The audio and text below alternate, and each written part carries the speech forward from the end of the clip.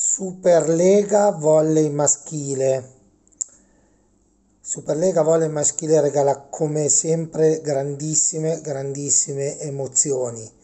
Incredibile ma vero, Monza va a vincere 3-2 al tie break dopo essere stato in vantaggio per 2-7-0 sul campo dell'Itas Trentino, campione d'Italia, la espugna e va in finale.